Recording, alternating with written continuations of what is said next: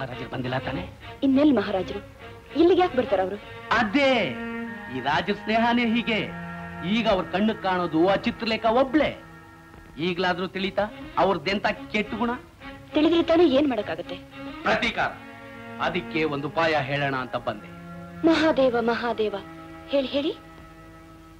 ಹೇಳಿದ್ರೆ ಪ್ರತಿಫಲ? ನಾನೇನು ವಿಶ್ವಾಸ ಇಲ್ಲದೆ ಇರೋಳ?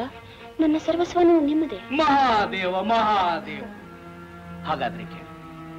ನೀನು ಮಹಾರಾಜರ ಹತ್ರ ಪ್ರೀತಿಯಿಂದ ಇರೋ ಹಾಗೆ ನಟನೆ ಮಾಡ್ತಾ ಮೆಲ್ಲಗೆ ಅವ್ರ ರಾಜಮುದ್ರೆ ಉಂಗ್ರಾನ್ ಸಂಪಾದಿಸ್ಬಿಟ್ರೆ ಆಮೇಲೆ ನೀನೇ ಮಹಾರಾಣಿ. ನೀವೇ ಮಹಾರಾಣಿ. ಅಪ್ಪ ಈಗ ತಿಳಿದು ನಿಮ್ಮ ಬುದ್ಧಿ ಎಂಥದ್ದು ಅಂತ. ಆಗ್ಲಿ ರಾಜಮುದ್ರೆ ಕೈಗೆ ಬಂದ ತಕ್ಷಣ ನಿಮಗೆ ಸುದ್ದಿ ಕಳಿಸಿ. ಮಂಜರಿ? ಅವಳನ್ನ ಯಾಕೆ ಕರಿತೀಯ ರಂಜಿನಿ? ನಿಮಗೆ ದಾರಿ ತೋರ್ಸಕ್ಕೆ ಹ್ಮ್, ನೀನು ಬಿಟ್ಟು ಹೋಗಕ್ ಮನ್ಸೇ ಬರ್ತಿಲ್ವೇ ರಾಣಿ? ಇಷ್ಟೊಂದು ಆತ್ರ ಪಟ್ರೆ ಹೇಗೆ? ಮಂಜರಿ, ಮಂತ್ರಿಗಳು ಹೋಗ್ತಾರಂತೆ. ಬಾಗಿಲಲ್ಲಿ ಇದೆಯೋ ತೋರ್ಸು.